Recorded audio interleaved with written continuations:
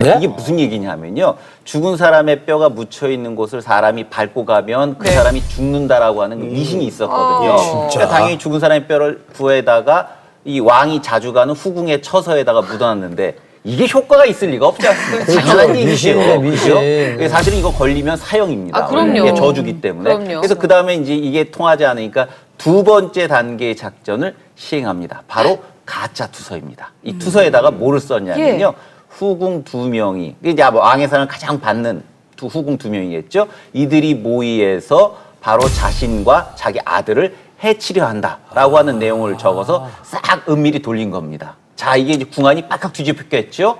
신하들도 아우성이 났습니다. 왜 신하들이 아우성을 치냐면 이게 투서 내용이 사실이든 아니든 간에 이 사람들 입장에서 보게 되면요.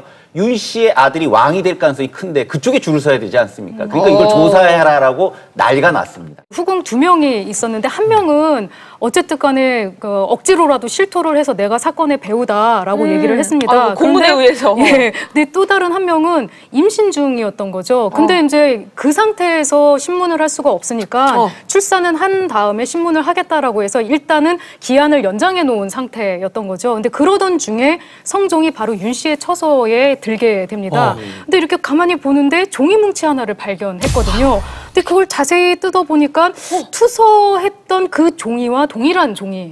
였던 거죠.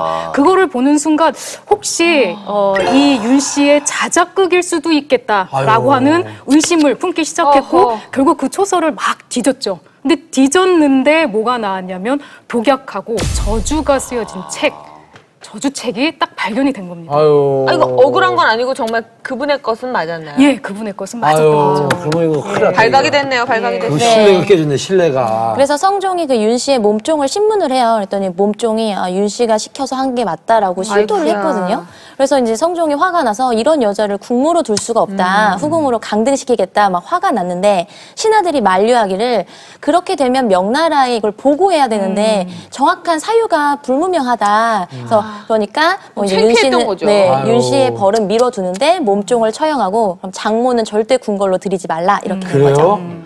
이 어머니를 못 만나게 한다. 그러니까. 친정 어머니를 못 만나게 한다는 것은 생지옥 같은 그런 그럼요. 시간을 보내지 않을까 싶은데 어떠셨습니까? 예, 완전히 그야말로 궁지에 몰렸는데요. 어쨌든 그래도 궁지에 몰렸는데 그나마도 또 자기 편을 좀 들어주던 시할머니도 결국 이런 것 사건이 터니까 점점 관계가 멀어졌습니다. 그나마 그나 다행히 남편 예. 성종이 돌아왔습니다.